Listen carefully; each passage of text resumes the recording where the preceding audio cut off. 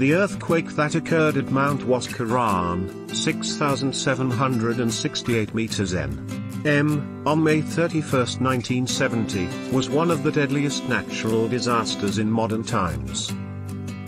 The earthquake measured 7.9 on the Richter scale and was centered in the Andes Mountains in Peru.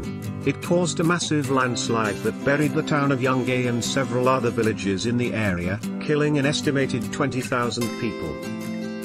The avalanche was triggered by an earthquake on Sunday, May 31, 1970. At 3.23 pm the tremor loosened a slab of rock about 2,600 feet wide from the west side of the north summit of Huascaran, at an elevation of about 18,400 to 20,300 feet.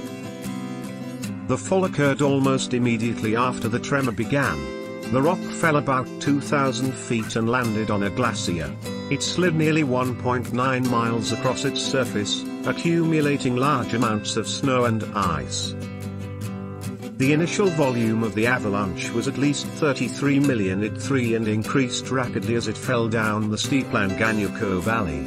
It continued to pick up large volumes of dirt, loose glacial moraine, water and uprooted trees, and mud and soil below. The front of the avalanche reached speeds of up to 435 km per hour. The avalanche, which was more than a mile wide and several hundred feet thick, swept away everything in its path, including buildings, trees, and people. The mudflow hit Yungay, which is 8.1 miles from the initial avalanche site, less than two minutes after the earthquake began, according to estimates. This was despite the fact that several significant terrain irregularities stood in the way of the avalanche flow. There was almost no time to escape. The avalanche, a stream of snow, ice, rocks, trees and mud, moreover, destroyed the villages of Shilkop, Era and Uo along the way before it descended down to Yungay. The town of Yungay, which was located in the valley below Mount Huascaran, was completely destroyed by the landslide.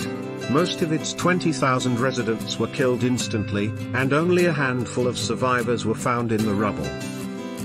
In addition to the human toll, the disaster also destroyed thousands of acres of farmland and caused widespread damage to infrastructure, including roads, bridges, and power lines.